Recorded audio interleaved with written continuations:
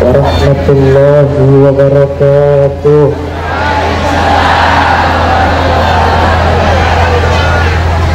Ibu-ibu di belakang yang gak jawab salam saya Saya doain mudah-mudahan suaminya kawin lagi. Amin Pak.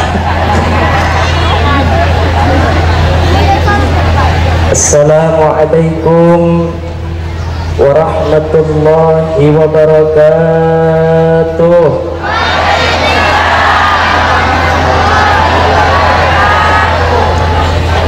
Alhamdulillah. Al-Mukarramun segenap para alimil ulama para asatid wal asatidah terkhusus yang sama-sama kita hormati dan yang sama-sama kita muliakan Bapak Wali Kota Kota Dumai Bapak Haji siapa tadi? Saya lupa. Ya pokoknya ya? Beliau dan segenap para kepala-kepala para bapak para ibu hadirin hadirat para pecinta Rasulullah sallallahu alaihi wasallam yang Allah muliakan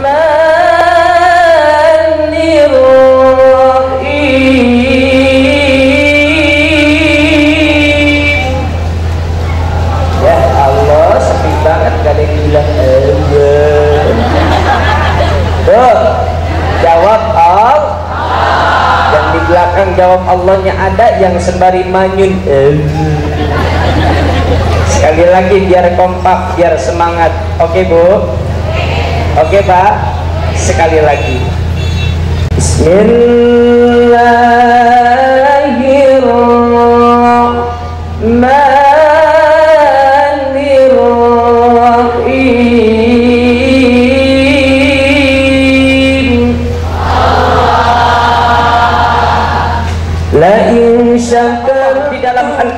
Karim Inna azabi lasyadid Yang selalu mensyukuri atas nikmat-nikmatnya. Amin. Amin Bu. Semoga ilmu-ilmu yang kita miliki semakin bertambah-tambah. Amin. Syukur-syukur barokah. Bisa pergi ke Mekah. Wukuf di Arafah. Mabit di Mina Muzdalifah. Ziarah ke makam Rasulullah Bisa jalan-jalan ke Jeddah. Balik lagi ke rumah. Bisa beli sawah. Punya harta melimpah. Punya mobil mewah. Punya rumah megah. Saya punya istri cantik solehah Namanya Mbak Marfuah. Jadi mantunya lurah Insya Allah mati dalam husnul Amin. Ya Rabbal Salawat beriring salam di sini. Ya Allah kasihan gantengnya nggak kelihatan kejauhan. Oke saya akan turun ke bawah. Jamaah.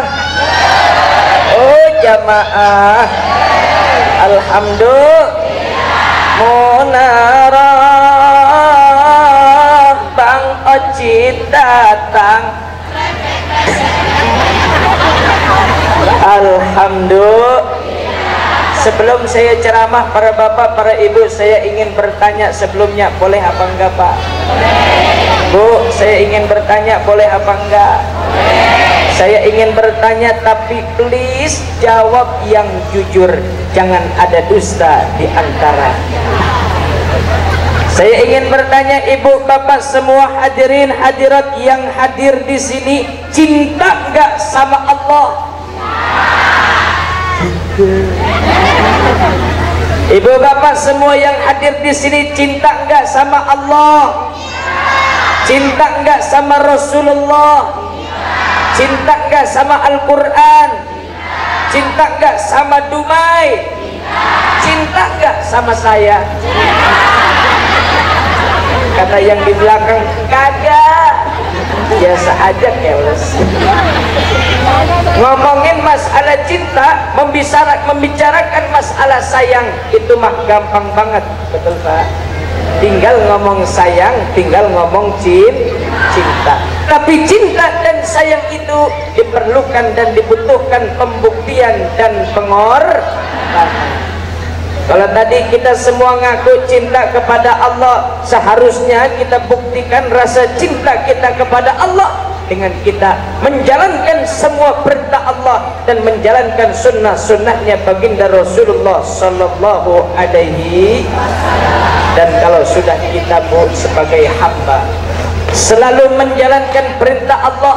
Lalu pun kita menjalankan sunnah-sunnahnya baginda Rasulullah hamba Allah yang selalu taat dan tunduk kepada perintah Allah dan Rasulnya pasti akan masuk ke dalam surga. Mungkin apa masuk sendiri? Pasti setiap orang kalau ditanya pengen surga atau neraka pasti dia bilang kepengen masuk ke dalam sur surga. Ternyata pak subhanallah. Oh, di dalam surganya Allah itu serba indah serba nikmat. Segala apa pun yang kita inginkan nanti di dalam surganya Allah sudah ada. Percaya nggak bu? kepengen jeruk tinggal sebut jeruk kepengen apel tinggal sebut. Apel kepengen rambutan tinggal sebut. Mantan emang saya setan artinya segala apa pun yang kita inginkan nanti di dalam surganya Allah sudah ada. Alhamdulillah.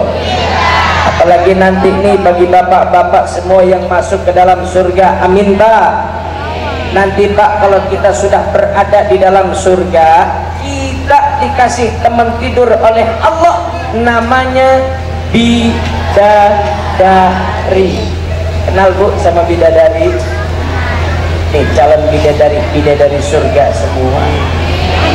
Amin ya rabbal itu pak yang namanya bidadari. Cantiknya luar biasa. Subhanallah itu bidadari pak punya bola mata kecil enggak gede enggak. Lalu tubuh bidadari punya hidung mancung bibirnya seperti buah delima di pelaknya dok. Doer. Masa bidadari doer? Mohon maaf yang doer jangan tersinggung. Lalu tempat bidadari punya pinggul gitar Spanyol. Betisnya gunting padi beda kayak betisnya ibu-ibu orang Dumai. Betis orang sini mah kenal pot bajai. Pasti garuk ngebul. Di surga pak nggak ada yang ngebul-ngebul. Semuanya serba indah. In, indah. Tuh bagi bapak-bapak nanti. Kalau masuk ke dalam surganya Allah dikasih teman tidur oleh Allah namanya bidadari. Tuh untuk yang bapak-bapak Adapun bagi yang ibu-ibu nanti bu kalau masuk ke dalam surga, amin apa bu? Didoain malas banget sama amin. Nih bagi ibu-ibu nanti yang masuk ke dalam surga, amin. Nanti ibu semua nih bu dirubah lagi oleh Allah menjadi perawan lagi. Perawan. Enak gak bu? Jadi perawat. Oh perawat. Kalau masih ada yang nggak percaya kita lihat ada di dalam Al-Quranul. Kata Allah Pak di dalam Al-Quran faja'alnahunna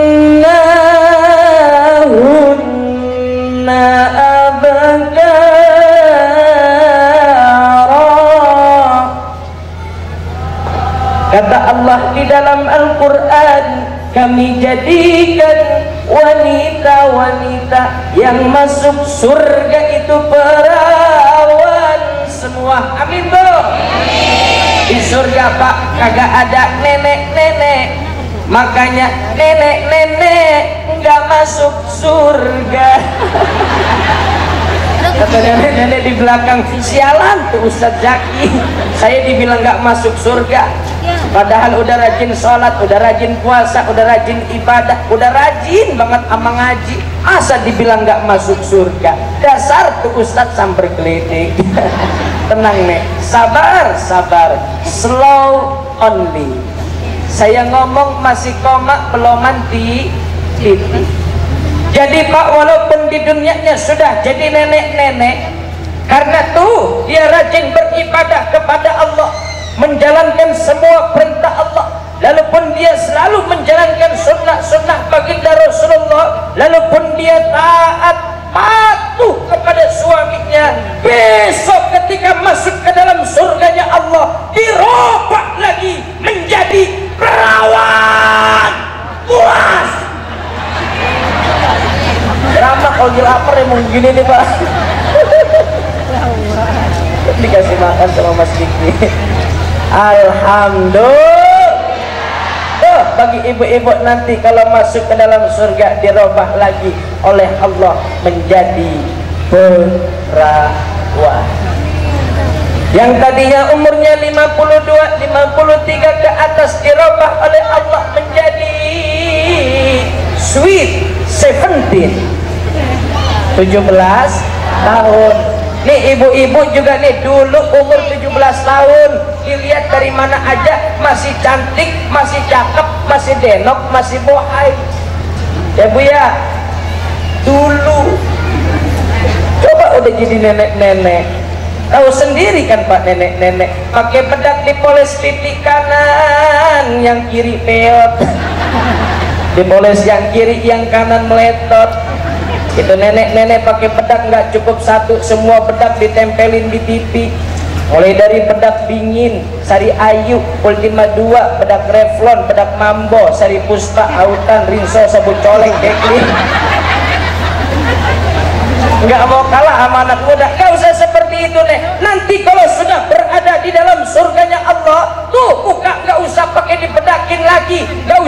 dimaskerin lagi. Nggak usah pakai di facial lagi. Nggak usah pakai ditutup wajah lagi. Semua wanita di dalam surganya Allah sudah cantik semuanya. Ya Rabbal ya Rabbal. Makanya taati perintah Allah laksanakan sunnah-sunnahnya baginda Rasulullah sallallahu alaihi wasallam. Pasti akan masuk ke dalam surganya Allah subhanahu wa ta'ala. Atau sebaliknya bagi setiap hamba Allah yang lari dari ajaran-ajaran Allah yang lari dan jauh daripada ajaran-ajaran Al-Quran yang tidak melaksanakan sunnah-sunnahnya baginda Rasul dan kerjaannya tuh orang selama hidup di dunianya suka ngomong-ngomongin orang suka ngomong-ngomongin saudaranya suka membicarakan masalah tetangga-tetangganya apalagi sampai memutuskan tali silaturahim hamba Allah yang seperti itu akan bakal dimasukkan ke dalam neraka jahanamnya Allah. Na'udzubillah. Summa na'udzubillahi dan perlu kita ketahui Pak. Di neraka itu Bu enggak ada Sprite. Di neraka tidak ada Coca-Cola. Di neraka tidak ada Fanta. Di neraka tidak ada Aqua. Di neraka itu Pak cuma ada darah dan nanah dicampur dengan air timah yang masih mendidih. Ibu-ibu di belakang bayangin bu pertanyaannya bu dari mana itu darah dan nanah keluar? Mohon maaf yang sebesar-besarnya. Ternyata bu itu darah dan nanah keluar dari kemaluan wanita tuna susila alias perek-perek ping badak-badak dua cula bu bu kenapa diem itu darah dan nanah bu sampai mengalir di sebuah danau yang ada di dalam neraka namanya Gutpo lalu untuk apa itu darah dan nanah? Yaitu untuk orang-orang yang semasa hidup di dunianya yang suka mabok-mabokan yang suka ngedring yang suka ngefly yang suka ngepoat yang suka tripping yang suka giting yang terbius dengan heroin morfin TKW brandy whisky sampanye bulonya martini vodka AO sabu-sabu putau cifas oplosan topi miring topi nenclek. Apa bu apal semua ya bu ya emang saya boleh ngapalin keles kita dengerin aja biar beres urusan Tebuk besok ketika masuk ke dalam neraka jahanamnya Allah minumnya darah dan nanah dicampur dengan air timah yang masih mendidih. Na'udzubillah summa na'udzubillah imin. Apalagi kita prihatin Pak dengan regenerasi muda, regenerasi mudi di zaman sekarang. Anak muda di zaman sekarang ini Bu sudah banyak yang terarus oleh arus westernisasi yaitu arus-arus kebudayaan yang datang dari barat betul gak bu? makanya pak anak muda di zaman sekarang jangankan disuruh ngaji disuruh adan keder ibu-ibu pernah dengar adanya bocah keder bu? belum pernah mau denger? Sius? mau denger? Contoh agan keder. Hayya ala salat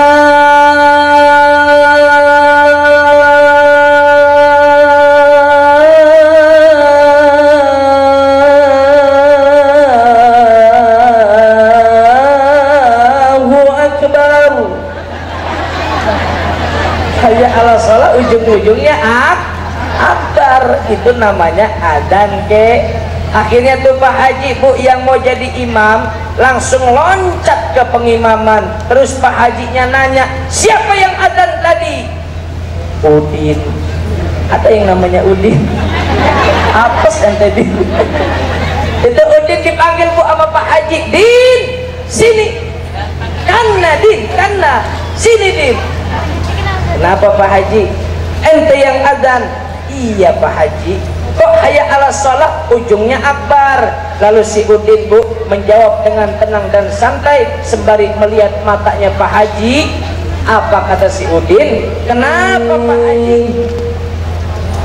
Salatullah salamullah ala taha rasulillah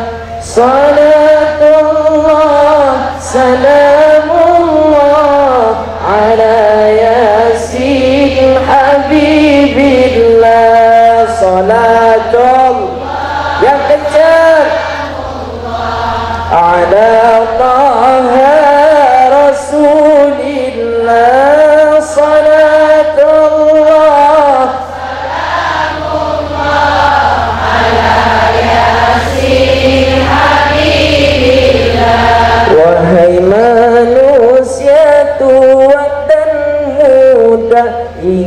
Ingatlah mati di depan mata Amal mulia masuk ke surga Amal durhaka masuk neraka. Salatullah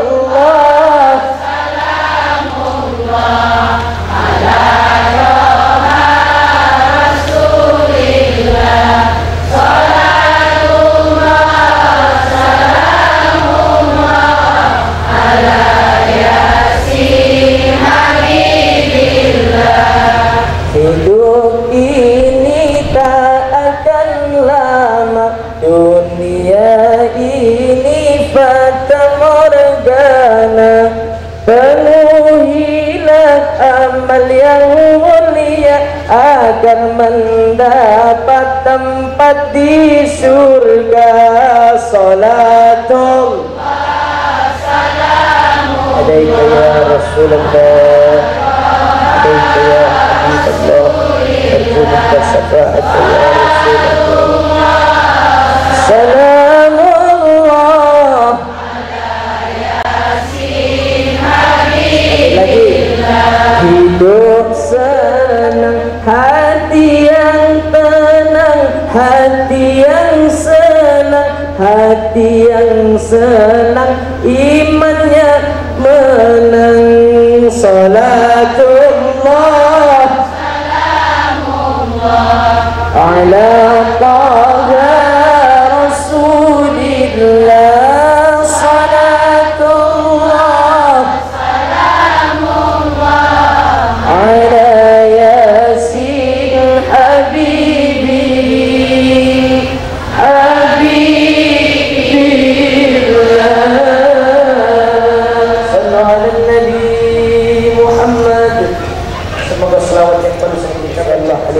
wasallam amin. Ya rabbal alamin. Dan kita minta kepada Allah pada malam hari ini semoga umur kita dipanjangkan oleh Allah Subhanahu wa taala diberikan kesehatan zahiran wa batinan diberikan selamanya. Rabbana ظلمنا أنفسنا وإن لم تغفر لنا وترحمنا لنكونن من الخاسرين. ربنا آتنا في الدنيا حسنة وفي الآخرة حسنة وقنا عذاب النار. وصلى الله على سيدنا محمد النبي الأمي وعلى آله وصحبه وسلم. والحمد لله رب العالمين. والله الموافق إلى أقوام الطريق.